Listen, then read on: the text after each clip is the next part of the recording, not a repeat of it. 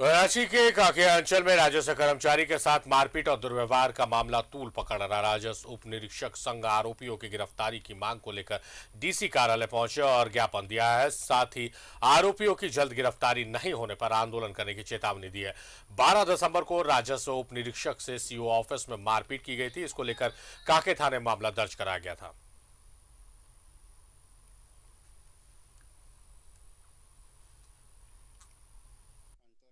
Campus में थे कार्यालय के सामने, वहाँ हम बात कर रहे थे किसी आदमी के साथ में। उसी बीच में वो लोग ऑफ़िस से निकलते हुए हमारे पीछे तरफ़ आके खड़ा हो गया। ने पूछा कि, मौजा मारवा का खाता नंबर संतानबे को देखना है मूलपंजी हमने उसको उत्तर दिया कि, भाई मूलपन जी तो है। लेकिन रसीद उसमें कभी इशू नहीं हुआ है।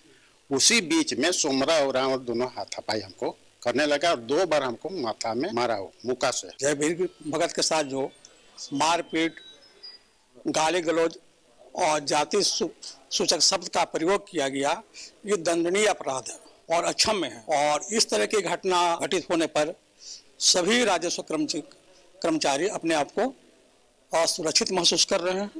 हम लोग डीसी से आज मिलने आए हैं और डीसी से कहें कि उस पर सख्त से सख्त कार्रवाई हो, अविलंब उसकी गिरफ्तारी हो, और नहीं तो हम लोग फिर आंदोलन का कार्यक्रम चलाएँगे। अंतर का एक